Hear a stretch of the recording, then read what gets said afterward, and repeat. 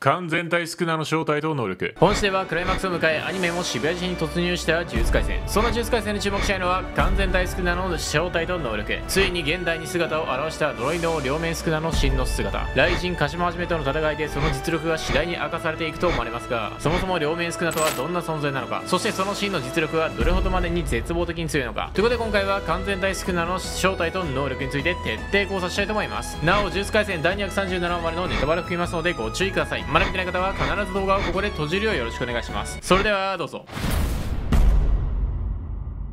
鹿島の厳重紅白による猛攻を受けとどめとばかりにパンダのお姉ちゃん格を瞬殺した時と同様に必中のやつもぶち当てられたスクナでした。がスクナには反転術式以外に一度きりのみ肉体を修復する術があるそれは意図的に中断していた受肉による変身の再開である。ついに現代に降臨しました。第3話にてその姿が描かれてから現実では実に5年以上の時を経て呪いの両面スクナは1000年前の仮想の鬼神の真の姿に変身を遂げたんです。そしてこの真の姿への変身は反転術式以外で肉体を完全に修復できる裏技のようなもの。術師連中と戦うのであればこのままの方が都合がいい。第216話で宿中賢弱に伏黒の姿のままの方が戦うのに都合がいいと言っていたのはもちろん伏黒恵の顔を残していることで関係の深い高専の術師たちに本来のスペックを発揮しにくくする意味もあったのでしょうがメインの目的はこの受肉による肉体回復という切り札を残しておくためだった。そして第237話は宿儺の真の姿いわゆる完全体宿儺が権限した1コマで幕を閉じたんですが皆さんがおそらく最も気になるのはこの完全体スクナがどんな存在でありそしてどれほど強いのかこれですよね。そこで今回はスクナのモデルである伝説上の人物両面スクナスクナの真の姿に関する作中描写や伏線。完全体スクナの能力予想この3つの完全体スクナに関する事柄を徹底的に洗い出していきたいと思います。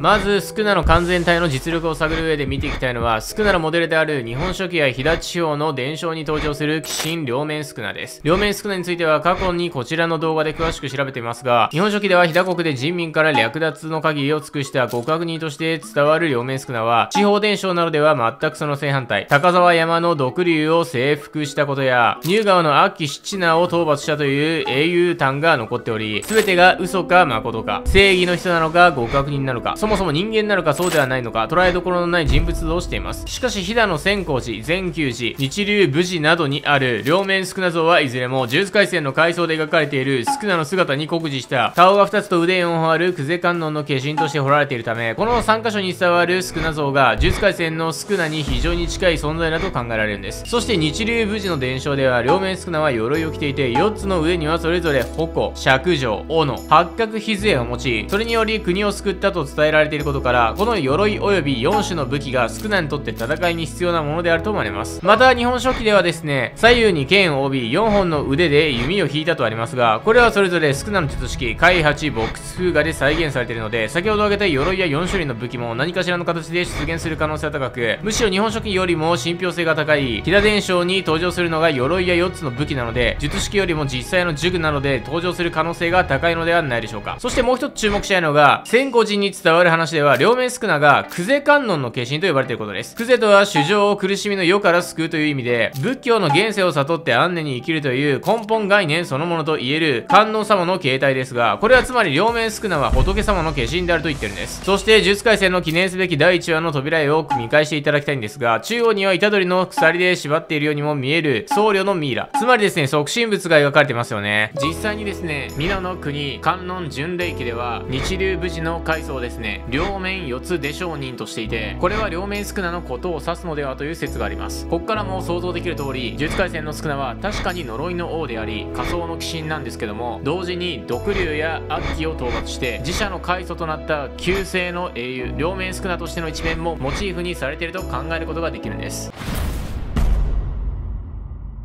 また第237話で現代にその姿を表す以前にも作中で何度かこのスクナの真の姿は描かれています。全て網羅できているか分かりませんが第3話の五条悟の創造第117話の扉絵第181話の鱗高子の回想第208話で天元の顔を見た賢弱の回想第219話での平安時代のスクナこの5場面だと思います。そしてこれら5つの場面で描かれている1000年前の両面スクナの姿と第237話で降臨したスクナの真の姿を比較して気になる点が2つ。1つ目に槍のようなジグの正体。2つ目に腹にある模様です。ではそれぞれ見ていきたいと思います。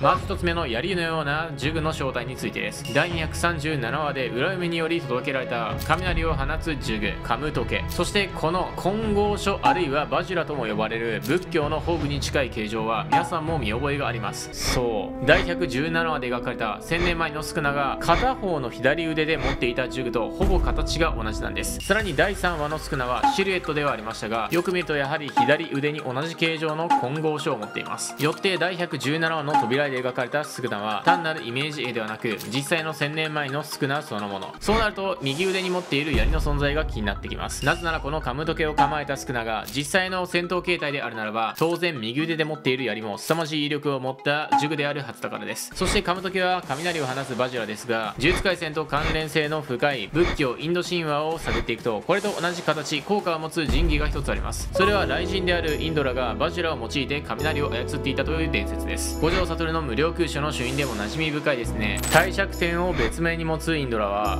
インドのベーダ神話の最高神でありリグ・ベーダのおよそ4分の1がインドラを称える文章であるほど全身茶褐色で巨大な体によって宇宙を制圧。2頭の名馬の引く戦車で天空を駆け巡り数々の敵を打ち破った英雄神でもあります。そしてインドラの最大の功績はというと悪竜ブリトラをバジュラで退治したこと。つまりインド神話にて最大級の怪物を倒した武器こそが雷を放つバジュラジュラなんです。そんなバジラをスクナが持っているということはもう片方の腕に持っている槍にも神話的なモチーフがありそうです。この槍は第117の扉絵から見切れているんですがその矛先はどうやら三つ股に分かれているように見えます。そしてインド神話において三叉層の神器といえばめちゃくちゃ有名なものがありますよね。そう。破壊神シバが持つ炎の槍トリシューラです。反抗的な神々が治める街を3つ一度に焼き払った伝説を持つこのトリシューラは未だに謎の多い術式風雅と炎という点で共通点があります。よってスクナがこの槍の呪具をすでに持っている場合風雅により発動された炎の矢と何らかの関係性を持っている可能性が高いです。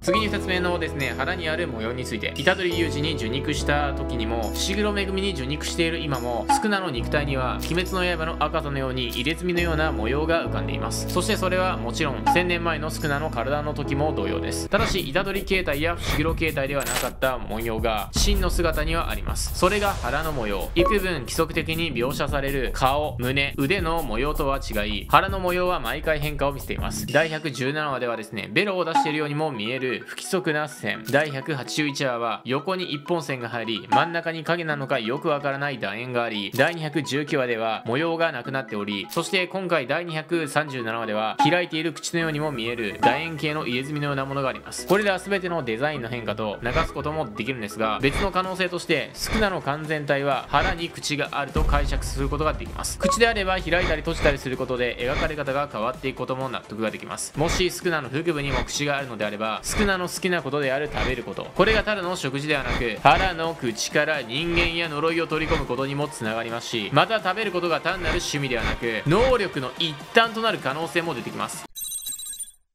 ここまでですね、呪術廻戦に今まで登場した完全体スクナの外見からの考察ですが、もう一つ考えておきたいのが第237話の煽り文。呪術廻戦はですね、万死の厨房現るや、死してなお、その身を現世に繋がれた、イカれる呪詛師など、物語の展開にピタリとハマったり、その後の展開を占うような秀逸な煽り文が有名ですが、今回の煽りもなかなか意味深です。味方とは単に敬語である、オス型を指す場合もありますが、形を像に置き換えた味方方の同義語でもありその意味はというと身体または仏像のこと。そして神といえば第199話で天使が言っていた言葉が思い浮かびます。彼らの多くは受肉の過程で器の自我を殺し沈めている。あってはならないことだ。神の断りに反する。その目的をですね受肉したプレイヤーの一層と明かした天使はなぜプレイヤーを殺すのかという疑問に神の断りに反すると答えています。またこの直後伏黒恵が神の断りについて深く突っ込もうとしたところ天使は心情のようなものとごまかしています。つまり天使や打点スクナは神という存在に何かしらの関係があると思われますがそんなところに今回のスクナが神であるかのような煽り文が追加されたことでスクナの正体が単なるめちゃくちゃ強い呪詛師ではないことそして神に近しい存在である匂わせが一層強くなったと思います。よってこのスクナレイドバトルが単にスクナを倒せば終わりではないことを予感させるような流れにますますなりつつように感じます。ここまで作中作外の様々な根拠をもとに完全体スクナが一体どういう存在かを考察しましたがではそんな完全体スクナがどれほど強いのかを予想したいと思います。今回考えたいのは次の3つ。1つ目に4本腕の影響。2つ目にですね身体的呪術的な強化。3つ目に呪具を使った戦闘。ではそれぞれ見ていきましょう。まずは4本腕の影響について。呪術廻戦において腕の有無や本数はかなり戦闘に影響を与えます。腕だけは取ろうとしたな。勝因を結ばせないために。第190話で鹿島はじめは計り禁止に次の挫殺爆闘を使わせないため片腕だけは破壊していました。このことから基本的には領域展開は勝因を結ぶ手がないと発動できないことは明らかです。そしてこの勝因を結ぶという点で明確にアドバンテージを持っていたのが特90例の真人そしてダゴンです。真人は術式無意点ペンで自在に肉体を作り変えることができるので口の中に無数に腕を生やしそこで印を結ぶことで領域展開自閉エンドン化を発動。またダゴンもタコに近い呪霊であるためか腹に文様を浮かべることで陰を結ぶ代わりにして領域展開を成立させています。つまり呪霊の性質次第では勝因を結ぶ行為を両腕でない部分に担当させることもできそれは明確な強みとなります。そこでスクナの完全体に立ち戻るとやはり腕4本は明確なアドバンテージになることが予想できます。なぜなら一応スクナは人間に分類されるため腕で勝因を結ぶことは必須だと思いますが腕が4本あれば2本でですね勝因を結ぶことをしながら